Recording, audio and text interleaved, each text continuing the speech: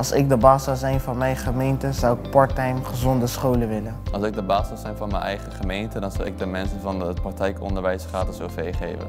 Als ik baas zou zijn van mijn gemeente, zou ik gratis fruit aan iedereen geven. Wat gaat u als gemeente doen om praktisch opgeleide jongeren te betrekken bij de uitvoering van uw beleid?